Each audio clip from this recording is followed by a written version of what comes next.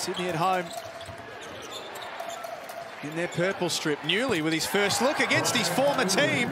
He knows the rims here pretty well. Spot. Dellavedova, as Gazy said, happy to work with his back to the basket oh, wow. because he can pass like that. That's exactly what I was talking Click into gear offensively, but... Here's the double team Drew was talking about. Jarell Martin comes across, leaves his own man. Sydney a little sloppy this trip down the floor. Agada takes it at the other end, made hard work of it and scores. Melbourne to finish off the quarter. Ili, late in the clock, drains the two.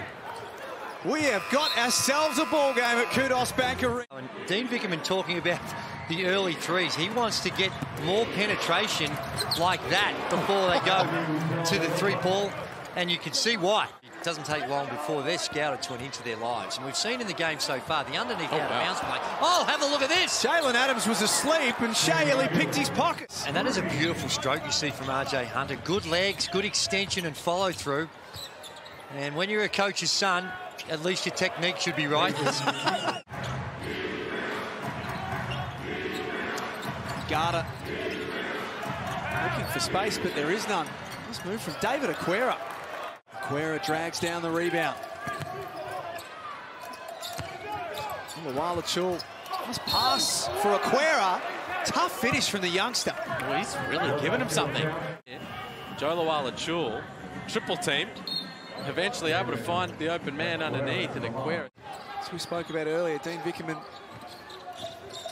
has a habit of getting the best out of young players. Dellavedova stole it away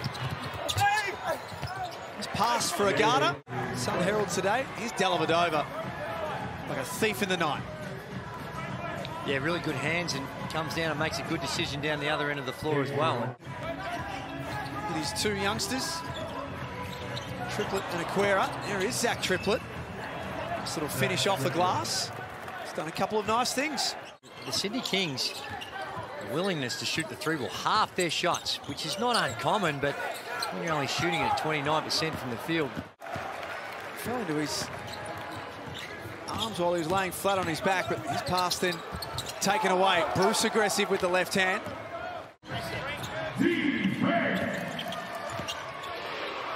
Garda threw it up oh. for Ariel Hukporti. That's why.